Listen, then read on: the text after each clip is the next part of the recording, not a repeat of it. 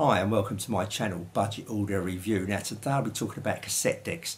Just giving my opinion, a few tips maybe of uh, what to look for when buying a new cassette deck. Your first cassette deck, this is really aimed at beginners, newbies really.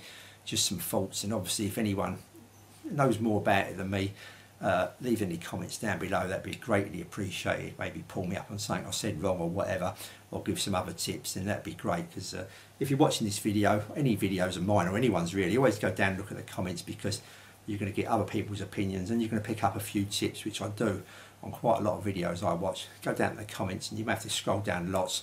Not so much in my case, just a few comments on my videos, but on some people's, you may have to scroll down a lot, but then you may find something interesting that someone's got there to help you out in your journey trying to pick up, you know, some decent hi-fi a reasonable price. Uh, that's what this channel is all about, and it is really budget. We're talking about, I'm probably talking about a cassette that you're going to go and buy maybe from a second-hand shop, eBay, places like that, probably ranging from 20 to 60 to 80 pounds, somewhere around there. I'm not going to go above that really, because you obviously, to, the more you spend, the more you're going to get for your money. Well, you should do anyway. But we're just going to call it budget. This is really for someone that's going to get their first cassette deck, don't want to spend too much money, maybe going to record off their uh, turntable, a bit of vinyl, maybe select a few tracks on one album, select a few tracks on another, make a little bit of a mixtape up. Or they may have a load of cassettes sitting in a drawer and they're all thinking, well, I wonder what was on there. I remember that making this cassette up many years ago. It would be nice to listen back to it at a reasonable quality, you know, quality sound wise. So that's what I'm really aiming up here. I'm going to kind of take each stage, each kind of bit to look for in cassette wise uh, as the video goes along. So I'll be touching on different subjects. Uh, first of all, buying and towards the end of the video just a few tips maybe once you've got the deck home to do to try and get a little bit more better sound out of the unit. Now we'll be putting a demo of both these cassettes two separate videos of a tape uh, just to give you an idea what they sound like maybe give you an idea of what to expect buying an old cassette deck. Now these are old these are 40 40 years plus old. So they've got some downfalls we'll come to that bit later on. But to give you an idea maybe what to expect if you're buying a deck that old um, so yeah, I'll do a little sound test. But uh, I'll just talk about these decks very, very quickly. This is uh, a Technics 676 deck. Uh, this came out in 1974. This would have cost you in the US $460, here in the UK $279, so quite a bit of money. But this was pretty much top of their range at the time, I think. Weighs an absolute ton. Got so much stuff inside, it's untrue. Down below here is a Sharp RT3151 known in the US as the RT3838 and this come out around about 1979 would have cost you nearly 300 pound at the time as well. Uh, and this is a bit more of a gimmicky it's not a bad deck it's a middle of the road deck really. Uh, you're paying for uh, extras here this computer control which rewinds the tape forward backwards picks certain tracks out you want to go five forward five back all that kind of stuff. It can do by seeing the gap in the tape in between records that you're recording. So you're paying you know extra buttons here that you probably not you, you may not need. Maybe a bit more of a gimmick but you know you're going to lose out in other parts of the machine paying for that extra bit in the middle there. So uh, let's uh, talk uh, different kind of groups different things to look out for. And the first thing I think we'll start off is uh, the difference between a two head deck and a three head deck.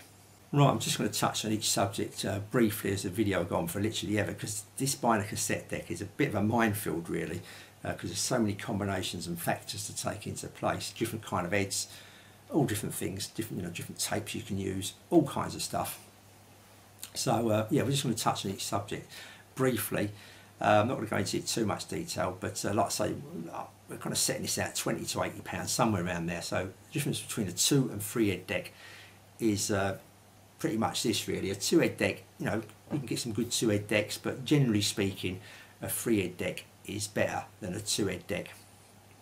Three heads is, uh, sorry, start off with two heads. Two heads is just the, a raised head counts as one head. That's uh, an head that's going to raise the tape. So anything previously on it, it's going to raise, it's going to pass along the tape, getting towards the record and playback head, which is, a, is one head that does both. It records and plays back.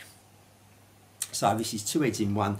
So as you can imagine, they're kind of fitting two things into one unit. And like anything else, when that happens, it's usually best to have two things separate. Uh, you're going to get a better sound, um, better quality out of it really. So generally speaking, a two-head deck is uh, inferior to a three-head deck. Obviously price depending as well, but uh, you know, if you get a really cheap three head deck and you get a really really expensive two head deck. I mean, it could be not a lot between them, but uh, generally speaking, a three head deck's better than a two head deck. With the three head deck, uh, you've got an advantage here as well. Uh, with, with, if you went back to that two head deck, you have to put, you know, you're pressing play and record to record something. You'd have to wait for it to fully record. So you press stop, press rewind, then have a listen to how it sounds. Now, depending on how much of a recording, it could be a three or four minute recording. You may have to wait three or four minutes to hear how it sounds, and you realise you've got the recording level up too high, or you forgot to do the bias on the tape, or something like that, and you're gonna have to start again. With a three head deck, you can listen to it live. So you press play and record, your source goes in, and once it records on the first head, the playback head is right next to it. So you can hear literally, it's a fraction of a second afterwards, what you're actually recording, how it's actually coming out of the tape. So while you're playing it, well, sorry, while you're recording it, you can also kind of play it at the same time. So you're listening to what you're recording near enough in real time, just a few milliseconds difference. So if that sounds rubbish or distorted, etc., you can straight away press stop and turn the volume or the recording level down, should I say, and start straight away again without waiting for it to get to the end of that three or four minute session you're recording. Hopefully you know what I'm on about because I kind of lost track myself there a little bit. But uh, yeah, so generally speaking, a three head deck is better than a two head deck. Right, we're going to go on to twin cassette deck versus a single cassette deck. Uh, as you can see, these are both single cassettes, just one transport in each unit. That uh, Marantz 4050 I had was a twin cassette deck, two cassettes. So the first one on the left hand side would just do the playback, and the right hand side would do the play and recall. Now some of them do both play and recall. You can get a twin cassette deck that's play and recall on both sides, but generally speaking, I think one's usually just a playback and the other one's a playback and record, and that way you can do tape to tape if you wanted to. But don't forget, once you're doing tape to tape, a bit like when you used to buy these uh, pirate videos years ago, someone may have a master copy, and so I'll do a copy for you. But that second copy was quite inferior to the first. The picture was more blurry, etc. So you will lose quality from tape to tape. So if you're recording one tape to another, you will lose that quality. And generally speaking, a single cassette like this, uh, money for money kind of thing, is going to sound better than a, a twin because you're paying for two units. So you're putting half the money into each unit. Here, you're putting all the money into one unit. So generally speaking, a one cassette is better than the two, but the two has got its place. Like I say, people may want to do a tape to tape, or may just like the look of it. Uh, two cassettes going at once or whatever. So um, you know, it's really your choice. But uh, generally speaking, uh, a one cassette in a particular component unit is better than two. Right, the next subject I'm going to come across, I'm going to say cover these all briefly, is, is Dolby. Um, you've got Dolby B, Dolby C and Dolby S. Uh, I haven't really used Dolby S to be honest with you, so I don't know what that sounds like, but it's supposed to be pretty good apparently. Um, yeah, so I mean, if you you know if the deck hasn't got it, it ain't the end of the world. It's going to be probably be an old deck, probably not going to be the end of the world because a lot of people don't even use the Dolby. But I do read a lot of forums and people's opinions on different stuff and whatever and there's lots of people that don't believe in it at all like you know I mean never ever use it uh, just record with it off and play back with it off. Then you've got some people that play with it. You know record with it on uh, then turn it off uh, once they actually play the uh, track back they've just recorded. And this way the higher frequencies come through uh, a lot brighter sounding where if you kept it in it'd be a bit bit duller maybe on some machines etc so um, you know everyone uses these Dolbys differently. So if, if, you, if you come across a deck with just one of them say for Dolby B for instance but you like the deck and everything else about it is good. I won't worry too much if it's got Dolby uh, B and C well that's, that's good. If it's got Dolby B, C and S uh, especially S like I say apparently I haven't heard this but apparently it's supposed to be really really good. Uh, from what I have read then that's even better like you know I mean? That's great. So um, I don't think it's too much to worry about really uh, the Dolby business because uh, once you get it you may think I'm never going to use it or I'm only going to use it for this bit or whatever. So um, uh, I don't know you know what I mean? I think it's a bit up in the air the Dolby business. So um, it's something you're going to come across and you're going to say to yourself well should I get this one because it's just got, B? Should I get this one because it's got B and C? So it must be better it's got C it may just have C. Uh, and yes like I say that may be a bit swinging it in favour that it's got the S because uh, like I say, I haven't heard it myself, but uh, what I've heard, it sounds pretty good. So uh, if you can get a, a, deck with S, then you know it's probably the one to uh, sway towards maybe. Okay, the next subject, just briefly, is uh, piano keys versus um, logic controls, which is this is just a little, you know, soft touch control. So if I just press play very gently, just a little tap of it, it'll play the cassette. For this one here, for me to press play, I would actually have to give it a bit of force, like a piano key, push it down, and then it'll play. And if I come to press stop, quite a bit of force on the stop to stop it. Same with rewind, I'm going to have to push it down. With this one here, just a little tap, rewind, just a little tap. Not much effort. Both these decks are full auto stop, uh, on play, rewind and forward fast. Uh, so it's, you know it's down to you really. If you had two decks, um, one's got this soft control kind of touch, and this has got a piano, but one was better spec than the other, and that's what I'd go for really. Like you would be, I'm not, I haven't got a preference between the two. You may have, you may not want these keys sticking out so much. You may just want this little soft touch, and you may want a remote control one as well. I mean, this is remote control. It's a great big lead that plugs in the back. I haven't got the remote, and it's going to be a separate remote on a lead because this is so old. This isn't remote control at all. But if you get a bit of a more newer deck, it may be got a remote control. So that's something else to think about as well. But um, it's not too much aggro coming up just pressing either the piano key or the soft touch key. You know, it's your preference really. Right, I've covered quite a few things there, I think. Um, but what I'm going to do now is um, talk about buying a deck that's as old as these, maybe compared to a deck a little bit newer. Uh, both these have got underlying problems, shall we say, that need sorting out, and I haven't really got time to do both. So I'll be getting rid of the top one, like I say, keeping the bottom one for sentimental reasons more than anything else. Um, I say, nearly 50 years old now. It's got problems here. If you're going to go and buy a deck 50 years old, maybe a silver fronted one like this, you're going to expect it not to be in mint and sound fantastic. I don't think it may sound all right, you know what I mean, but it, it's probably going to be things wrong with it. You know, the circuit inside, a few things they may need replacing, uh, refurbished, that kind of thing.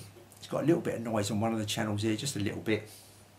This switch here, which um, which one is it? This one here, which uh, is two inputs to this. It's, you can plug a tuner into the back of this because it's got an MPX filter for the tuner um, to cut out frequencies. This, this is going back a few years ago now they use that. Uh, and it's got that tuner input or it's got the normal line input. Even though I've cleaned this switch a couple of times now, maybe to give it a couple more cleans, it's still a bit noisy and it don't always work. It, you know, sometimes it does. You might just have to give it a couple of flicks for it to kick in. So um, I've been recording using the tuner input. That seems to be the more uh, more reliable and getting better contact, so better recording. So that's that. These uh, record level. Now, if you come to buy a deck, uh, if you get a really, really cheap one, it may have something called uh, ALC written on it, automatic level control. So when you go to record something, uh, you haven't got no knob for the record level, it does it automatically. This is on a lower end deck, uh, always best to try and get one with a record level so you can do your own record levels. One for each channel normally, it may be a split knob where one channel's like on the outside of the knob and the inside of the knob is say the left and the outside the right. It may be something like this where the record level's just got one knob that does both channels but uh, I've got a little balance control here so that'll balance the channels up so I can get them both exactly where I want them. So that's something to look out for a record level. You may have some headphones on there as well so you can uh, listen to it privately uh, rather than going through your amplifier etc. So microphone inputs if you uh, require a microphone to be plugged into it. And if I'm listening by the headphones as well on this particular deck I've got an output level as well so I can adjust the volume on the headphones. And I think it actually uh, adjusts the volume through the uh, RCA or phono sockets at the back as well if uh, memory serves me right. So that's just a few extra buttons here on this machine.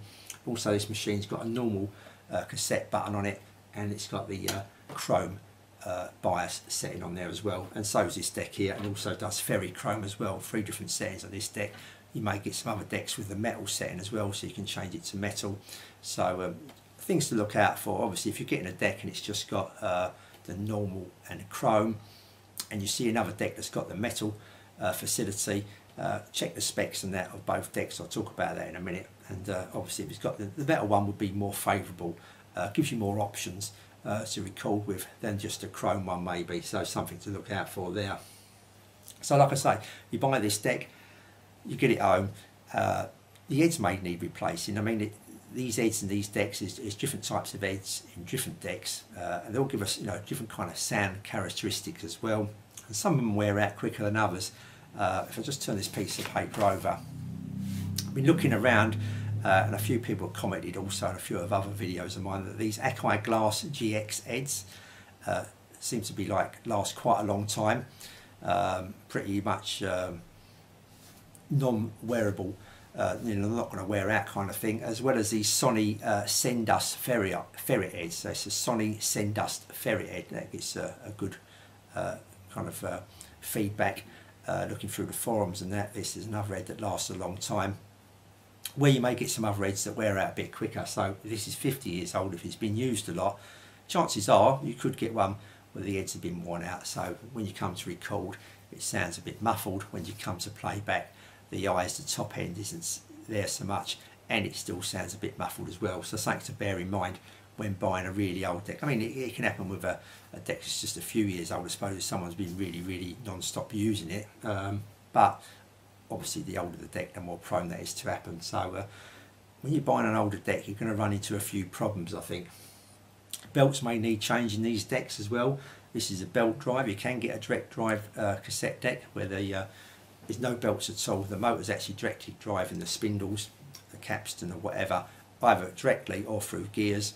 So um, yeah, just look out for that, that uh, a belt drive one may get some problems changing belts, may not be that easy to change the belts. This is a bit tricky on a couple of the belts in here. One of them is fairly straightforward, but the other is quite a fair amount of stuff got to come out to try and get the belt in, then you've got to go and buy the belt, etc. So, um, you know, I don't know how long a belt lasts. You can get you can get lucky; they could last for years, but uh, you could get unlucky and get a deck where you're just going to have another couple of months, and you're going to have to go and buy a set of belts for it. So bear that in mind. Obviously, the older the deck, the higher chances that is. So what I would say is that um, if you're a beginner and you want it hassle-free kind of thing, I'd stay away from it. Even though these look quite nice, I'd stay away from these old decks. I think because they're a little bit, you know, they have a little bit of trouble with them. This one here is a little bit noisy on one of the channels, quite a bit more noisy than this. Uh, probably a transistor or something needs replacing there. The top end of this deck isn't really there, so I think the heads are probably worn a bit on this deck here as well. This deck here has got uh, APLD, it kind of searches backwards and forwards through the tape. You can say go two tracks forward, two tracks back, one track forward, all that kind of stuff, skip tracks. And while it's doing that, the tape's passing over the head quite quickly. And obviously the more you do that, you're going to start wearing the head out. So uh, that's maybe the reason this deck here uh, doesn't sound so bright as it should do, maybe. So, you know, my advice would be, not if you really, really wanted one of these, it's going to fit in your system, you like the look of it, and you're going to pay a bit of a premium for these because these are quite old and getting a bit more like, uh, uh, you know, people want them a bit more now. Uh, this top one I think on eBay sells for about £100 thereabouts, this bottom one for about 80 quid. So you could get them and they may not last that long and they have underlying issues as well. So uh, as a newbie, if you're coming into uh, buying a cassette deck for the first time, this probably isn't the kind of deck to buy. These are 74 and 79.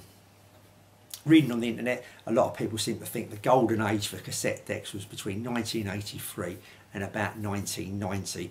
That's kind of like the golden age where they kind of got everything right and you know these decks sounded quite nice. So uh, maybe look for a, a deck in that kind of period uh, and hopefully one that hasn't been used too much. Right, another thing to look out for is the heads itself. So uh, I'll take a picture of this, hopefully you're going to see it, but uh, you go on eBay, places like that, or second-hand shop, if you get the door open on the cassette, have a look inside, hopefully they put a picture up where you're buying it from if you're getting it from eBay. And if you have a look at the heads, make sure they're nice and shiny, that's uh, both heads, if it's a two head or all three heads. If it's a three head machine, you want them nice and clean, nice and shiny. You've got the capstan motor, the little spindle there. See if that's nice and shiny as well, give an indication maybe to uh, how much it's been used. And also that pinch roller, that little rubber wheel that kind of comes up against the uh, capstan itself, that little pin. Uh, have a look at that. It's uh, made out of rubber. Now you want it, you don't want it shiny, you don't want that shiny. Uh, otherwise that's probably uh, on its way out. And you want to look at it and see if that roller hasn't got the brown residue of the tape you know, it's usually a black roller, hasn't, hasn't turned brown in the centre, the same width as the tape itself, where the residue of the tape has stuck to the head, maybe another indication that uh, the machine has been used quite a bit. So things just to look out for uh, if you're buying it uh, off of eBay or a second-hand shop or something like that. Another thing to look out for is uh, go to a few websites, read a few reviews on your cassette deck you're thinking about buying, but uh, go to a website, HiFi Engine or tapeheads.net. There's some great information there. Type in your model number. And I think look out for is the actual specifications of the machine. Now, you, you know, if you went and bought it brand new, maybe a bit more of an indication to when you went and bought it second hand, because obviously the head could be worn out, the motors could be knackered, the belts could need replacing, all that kind of stuff. But it may give you an indication how good the machine actually was, and hopefully still is when you get it, when you've bought it and it's turned up on your doorstep, is that uh, on them sites it will give you a specification, for instance, uh, it'll give you the frequency response of the deck. For example, that may range from 30 Hz to 17 kilohertz, and that 17 kilohertz it may have next to it metal, it may have it next to it chrome, and that means that it needs a metal tape to get the 17 kilohertz or a chrome tape to get the 17 kilohertz. So for instance, it may just turn around and say 30 hertz to 17 kilohertz metal, and that will mean that the metal tape is required for you to get the 17 kilohertz out. Again, as if you would have bought this brand new, things could change over that time, obviously with the heads being worn out, etc, etc. The circuit inside not performing as it should do, being an old machine. Uh, if that was a metal, then you, you, may not be, you know, may not get a metal cassette. You may just want to use a normal cassette. So if you're using the normal cassette, that will come down drastically. And as normally, like normally, kind of look at these figures in the past, and that a 17 kilohertz uh, metal one would probably come down to about 13 kilohertz for using a normal tape, and about 15 kilohertz for a chrome tape. So just look at the specs. Obviously, the better the specs, the better the machine should be. But there's no guarantees, like I say, because you don't know the past of the machine, but it may just steer you in the right direction. Another thing would be wow and flutter, and another thing would be the signal to noise ratio in it as well. Just a few things to look out for to uh, kind of help you maybe steer you in the right direction. You've got two or three to choose from, you may be able to out which is the best out of them three because just looking at the machine may not give it away uh, which is the better one. Obviously, read some other reviews, etc. But that's something to go and have a look at the specifications of the unit before diving in and buying one. I know we're not paying a lot of money, but it's still nice to have a look at the specifications. Another thing to maybe to look out for as well, if you're just really flicking through very quickly on eBay at pictures and trying to grab one that uh, kind of grabs, you know, pick one that grabs your fancy, so to speak, these meters uh, a giveaway on some decks, not particularly these old, old decks that are 40 and 50 years old, because these are old analog meters. And if what I'm going to say to you was true about this, it would give you a false reading really because this deck here does sound better than this bottom deck, even if this one was kind of like put right kind of thing. I think this is still going to sound better. It's, it's a better made deck, but the meters are a lot, lot smaller on here than they are here. But so uh, these are quite nice. These are really big meters, quite easy to read. A little bit smaller, but don't forget this is four years older as well. So on these analog meters, it may not tell you so much as it does on the digital ones, I think, uh, as a rule of thumb kind of thing. If you've got a digital display, and what I mean by that is you've got some LEDs, it may be just actual LEDs, five or six of them. It may be like a fluorescent display uh, going across, uh, where they may start off green. Someone may take a picture of it actually working or something like that. You may be able to work out or go on the internet and find out a bit more information. It may tell you how many segments the display is the more segments, as a general rule of thumb, the better the deck. So, you know, for instance, if you've got a deck that's just got five segments and you match it up with a deck that's got 20, generally speaking, the 20 deck machine should sound better than the one with just five segments. It's just if you're quickly going through on eBay, flicking through the decks and they've got little pictures, you may be able to see that in a picture and you can kind of skip some uh, as you're going through rather than looking at every single deck. So this is generally speaking, there is some exceptions obviously like anything else, but generally speaking, uh, if it's just got one deck, uh, sorry, one cassette in each unit and it's got say a 20 uh, LED display or fluorescent display, 20 segments versus one with five, then the one with 20 you know, would be the one to go for, I think, or to put on your short list or to have a look at and check out a bit more, check the specifications, all that kind of thing. Uh, maybe a little bit different with these double decks because some of these double decks uh, in stack systems and that sometimes have quite a big display on them as well. But um, you know, generally speaking, generally speaking, I'm talking here just something else maybe that can uh, help you out deciding which deck to buy. But again, once you've kind of narrowed it down, then look at the specifications. But again, this is if you went and bought it brand new when you're getting it second hand, you don't know the condition of the heads, the conditions inside the belts, all that kind of thing. So it is, it is quite a minefield buying these cassette decks, I think. Now they've got the unit home, um, and it's not sounding as good as you thought it would do. So a few things you can do. Hopefully, uh, you know, maybe a bit muffled, uh, playing, recording. It may sound not very bright, a bit dull, that kind of thing. A few things you can do, maybe to liven it up and get it in better shape than it actually is. One thing obviously is to clean the tape heads of the machine using something like this. This is, I, I can never say it, so I've got it here. This alcohol uh, solution here, uh, isopropyl, absolutely useless saying it. I'll show you a picture of it on the screen anyway. Now I usually clean the heads with this with a cotton bud and I usually clean the a pinch roller and the actual uh, capstan as well. But not everyone does that. Some people clean that pinch roller with some uh, soapy kind of like soapy water. Uh, it's your choice, I think, really. I've never had any problems using this stuff here, but uh, some people say don't use it, so uh, maybe just use uh, light soapy water, uh, just a dab of it on a cotton bud or something like that to give that a clean, uh, the capstan and the pinch roller. So you can give the tape heads a good clean and you may have to do them two or three times. You could demagnetise the heads as well if you've got a demagnetiser, but it's a bit more expense.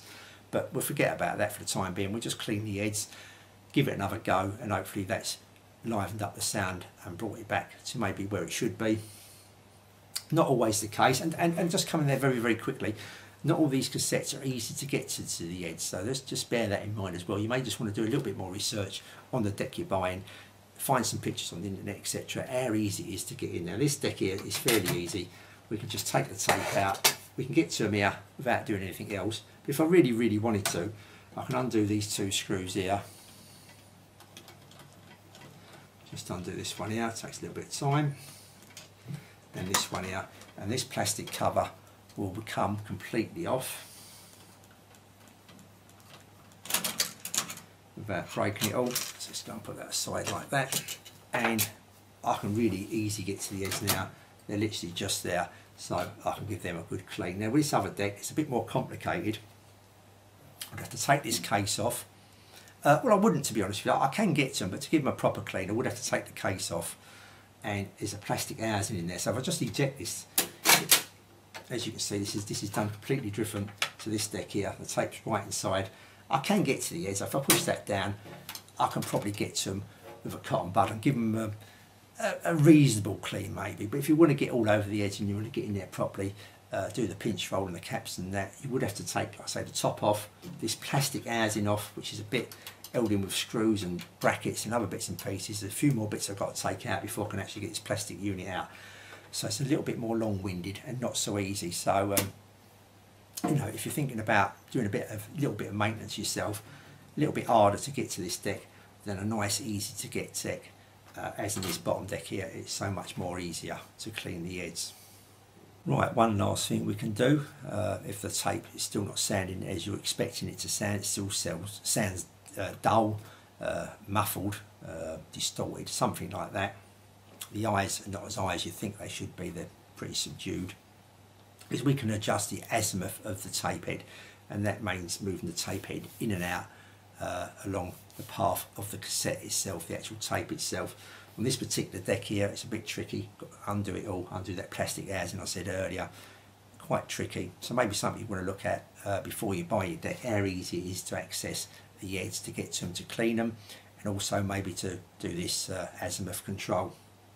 On this deck, it's pretty straightforward. If I show you a picture of it with none of the keys pressed in, and uh, what I want to do now is show you a picture of it with me pressing this play uh, key pressed down. You can see they made are moved in position. I can see the screw. It's normally a Phillips screw just one side of the actual head normally that you're going to adjust. The other side is normally uh, in a fixed position. And uh, make sure you get a screwdriver that fits that head nice and tight. You don't want to start shearing the head off or anything like that. Just be careful just small turns. If the screw starts to get really loose then stop because we don't want to undo it too much and the screw falls inside the mechanism you're running around trying to find it, all that kind of thing, and it could be tricky to get back in place.